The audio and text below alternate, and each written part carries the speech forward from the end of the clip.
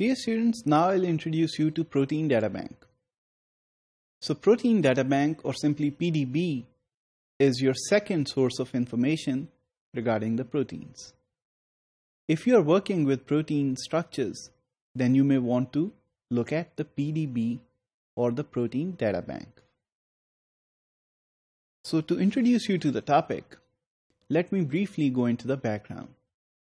If you're working with proteins and sequencing them, or if you are trying to retrieve the sequences, then UniProt will be the database you'll be working with.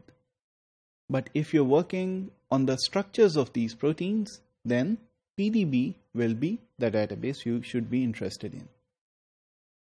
So to understand the extraction of the protein structures, you need to know that the structures of these proteins are 3D or three dimensional. So these three dimensional objects are measured using different experimental techniques. These techniques may include atomic force microscopy, X-ray crystallography, or nuclear magnetic resonance spectroscopy.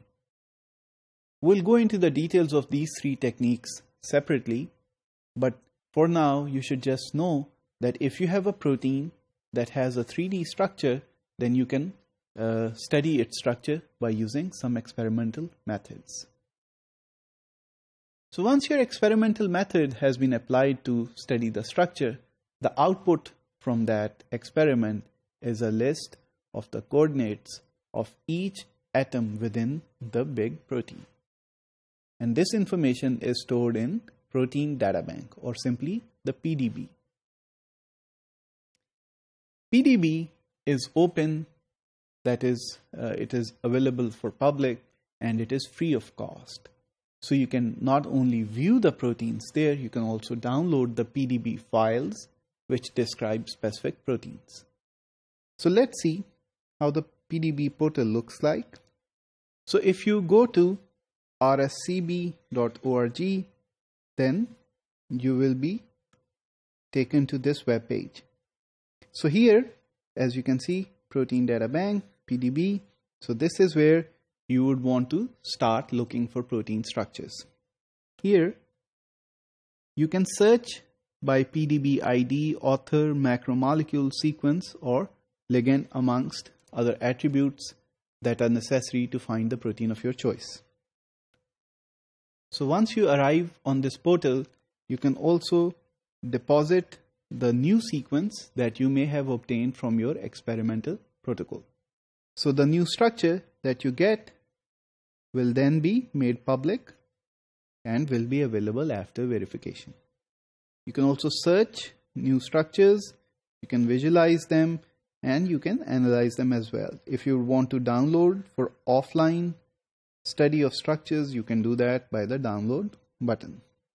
Now I'll give you an example of a protein that I searched using this PDB. So I simply input the human ubiquitin. So I got this ID. And then this was where I was taken to. So as you can see, so it's a solid state NMR structure of ubiquitin. So this ubiquitin structure has been obtained using NMR, which is a very high resolution technique for studying the structure of proteins and the publication or the paper in which the structure was reported is also shown here along with the display files, the download files given on this side. So if you click on the details, then you can arrive at this page and here you can play with your protein. You can look at its 3D shapes and forms by rotating it around to specifically see which portion of the protein you are interested in. You can also download the display files or the PDB files and if you download those files, so you will arrive on this file in which each atom, its position, its residue and the x, y and z coordinates are given here. So this information is very useful to visualize the proteins of your interest. So if you are interested in studying the protein structures, then PDB will be your go-to website.